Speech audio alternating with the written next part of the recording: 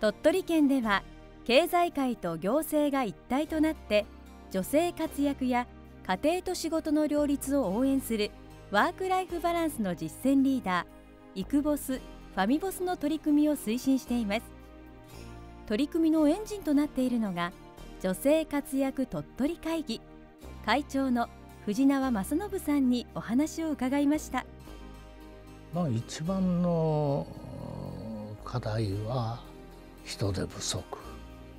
特にその労働力の不足に関しましては私はもう数年前から一番ポテンシャルがあるのは女性とそれから高齢者であるということを言ってます。女性活躍鳥取会議として経営者の皆さんの意識を変えてもらいたいという意味でトップセミナーをやってるのが一つ鳥取市内にあの託児所を兼ねたサテライトオフィスを作ってこれは例えば子供を預けながら仕事もそこで実際にできるとか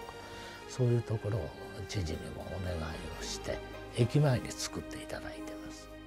まだまだねやっぱり意識改革は十分とは言えませんから経営者の意識を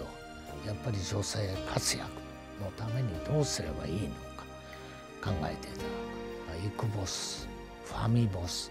この辺を継続していきたい。